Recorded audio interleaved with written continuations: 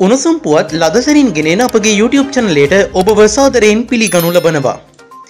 මෙන්න අපට දෙන් වාර්තා වූ තවත් උණුසුම් පුවතක්. වයසවුරුදු දහස්වය විස්සාදර පසුවන තරුණ තරුණියන්ට අර්ධකාලීන රැකියා කළ හැකි පරිදි නීතිරීති සංචෝධනය කිරීමට රජය සූදානම් වේ.